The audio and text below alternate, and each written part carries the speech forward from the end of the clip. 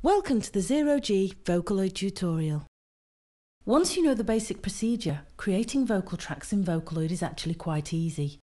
In this quick tutorial, we'll show you the steps you might use to create a short vocal phrase.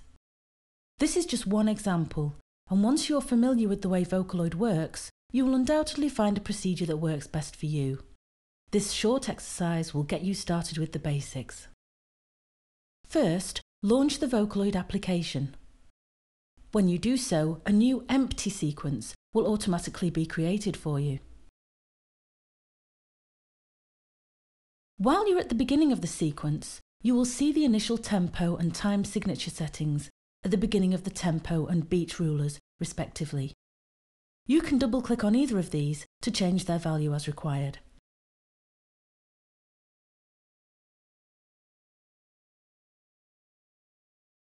Now let's enter the notes.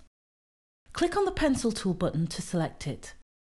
Then, starting at measure number 1, use the pencil tool to enter the notes of your sequence. If you have a steady hand, you can freely click and drag the notes to the required length, but it's probably easier to use the Vocaloid grid and the preset note lengths. Now, let's enter some lyrics for the notes we just entered. Select the pointer tool Double click the OO above the first note to enter the lyric editing mode. Then enter the first word and press enter on your computer keyboard. Repeat this for the remaining notes, entering one word per note.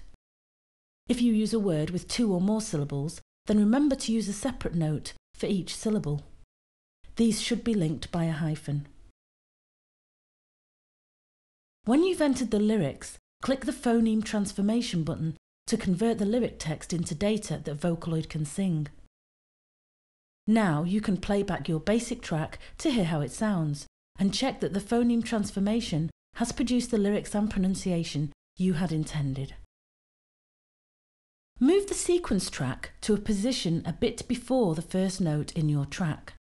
Do this by clicking briefly in the measure ruler at the appropriate location and then start playback by clicking the on-screen transport play button or by pressing the space or enter key on your computer's keyboard.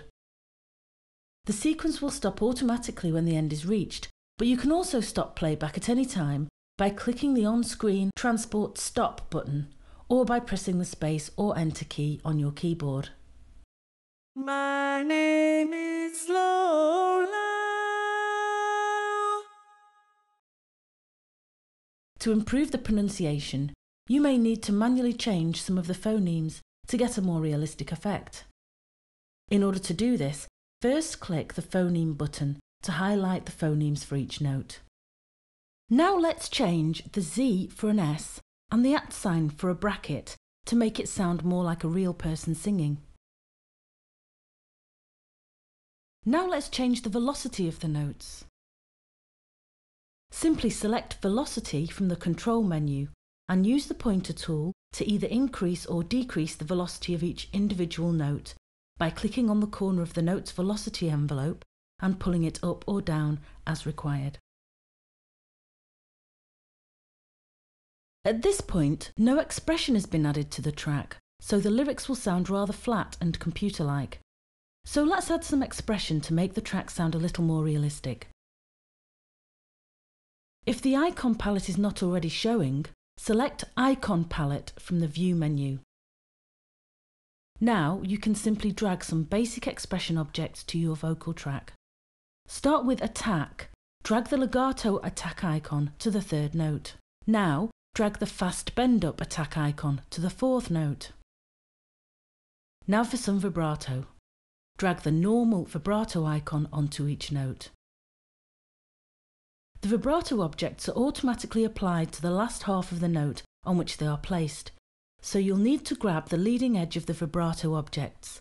The cursor will change to a red double-headed stretch arrow, and stretch them to the right length.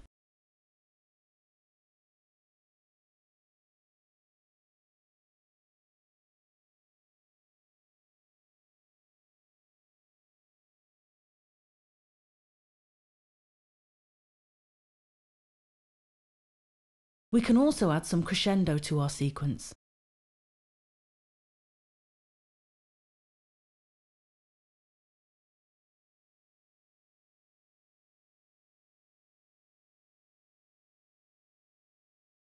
Now, let's add some pitch bend to the last note.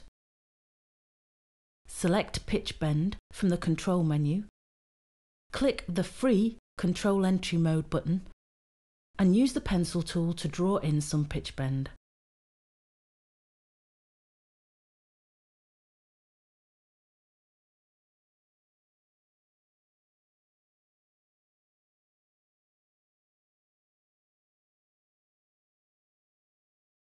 And now the final touch to our first track, some fine-tune control.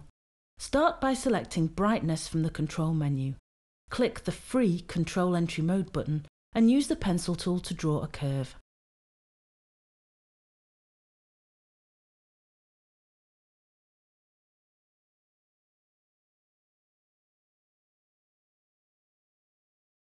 Then do the same with the clearness control.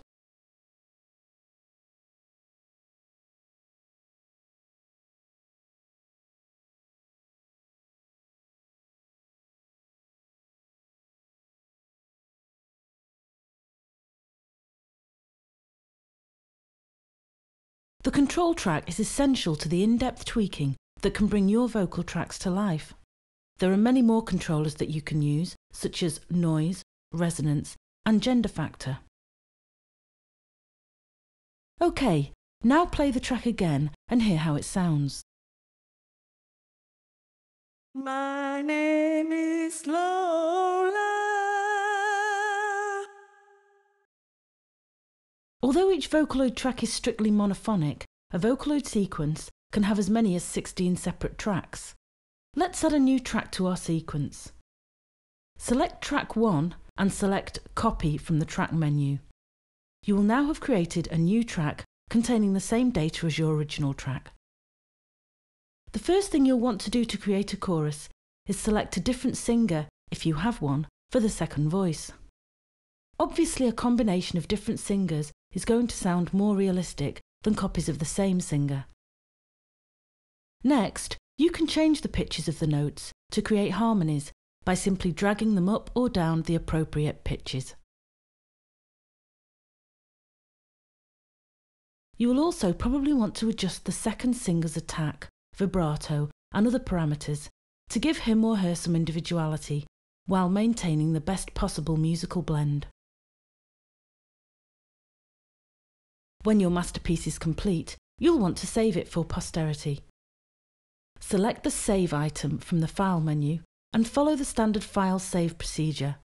Or you can export your creation as a WAV file by selecting the appropriate option from the File menu. And that's how easy it is to create great vocal lines using Vocaloid.